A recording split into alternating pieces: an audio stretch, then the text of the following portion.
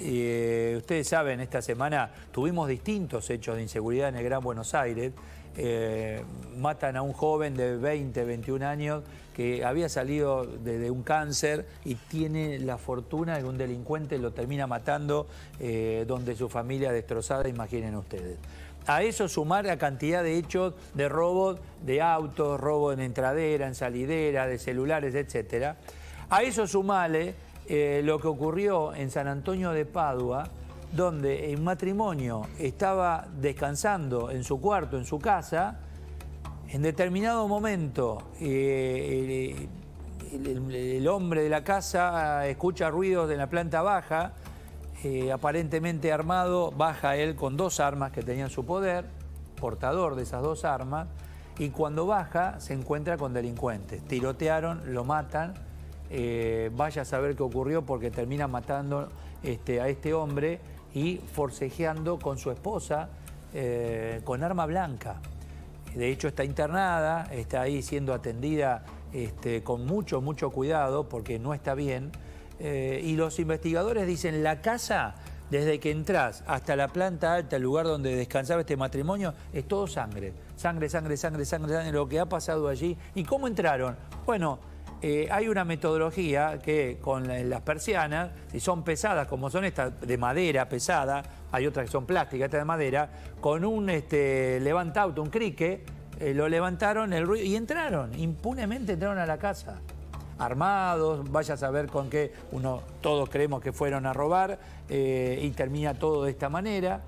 ¿Los encontraron?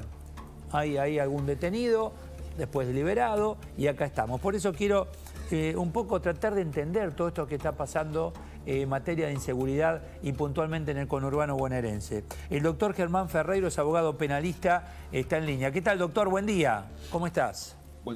buenos días, Eduardo. Un placer saludarte. Saludos a todos en la mesa. Gracias. Eh, ¿Hasta cuándo vamos a tener que soportar esta realidad en la provincia de Buenos Aires? Ya estamos hablando, no inseguridad, estamos hablando de criminalidad directamente, Germán vergonzosa la, realidad que atraviesa la, provincia de Buenos Aires y, dicho de algún modo, eh, extensible al país en, su totalidad. Yo lo vengo diciendo desde hace mucho tiempo. En Argentina hemos pasado de, un Estado de Derecho a un Estado de barbarie, donde la vida no tiene ningún valor. Existe un vacío total en la gestión de la seguridad. La, la ciudadanía vive en un estado de permanente indefensión. Acabas de describirlo pormenorizadamente la, gente eh, se defiende como puede, con lo que puede, porque el Estado está ausente. Hay sectores del país, Eduardo, donde el Estado se retiró de la prevención del delito, lisa y llanamente, y esto lo, lo vemos diariamente, en forma cotidiana. Cuando hablamos de prevención, ¿qué significa? Porque, a ver, esta semana eh, escucho a quien es eh, jefe de gabinete y encargado de seguridad en Lanús, Kravitz, y dice, estaba visitando un barrio, le estaban diciendo, mirá qué inseguridad, etcétera, y uno de los vecinos dice, ahí pasan los que roban acá. Los siguieron, los atraparon y están detenidos. Y dicen que ellos pueden hacer prevención, paran autos, los hacen bajar, tiene armas, bueno, baja contra la pared. Y otros municipios dicen, no, no está permitido ese tipo de prevención en la provincia de Buenos Aires. ¿Qué está permitido y qué no está permitido hoy por hoy, legalmente hablando, Germán? Yo esto lo circunscribo a un argumento que es el que abarca toda la respuesta que, a la pregunta que me acabas de realizar, Eduardo. Esto depende de la voluntad política. No, no es una cuestión de, buscarle muchas vueltas y muchos pragmatismos. Acá tiene que haber una voluntad política de perseguir el delito. Cuando se quieren hacer las cosas bien, los municipios que quieren hacer las cosas bien, eh, las cifras del delito bajan sensiblemente.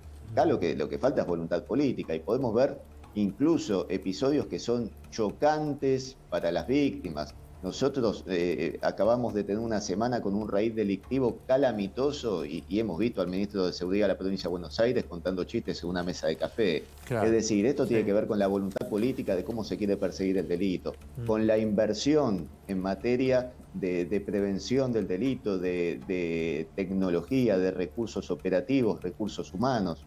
Hay municipios que, tienen buenos diseños de seguridad, que invierten mm. en, combatir eh, el delito. Bueno, pero por lo, que uno ve, eh, a ver, no tenemos esto, no hay prevención, no hay controles, no te paran en, las autopistas, no en las autopistas, en las avenidas, nada, todo, todo, todo nos pasa por el costado. y otro detalle, ocurren los hechos y no encuentran a, los asesinos, a los delincuentes este, robando lo que sea. Eh, ¿Cómo se los busca, doctor?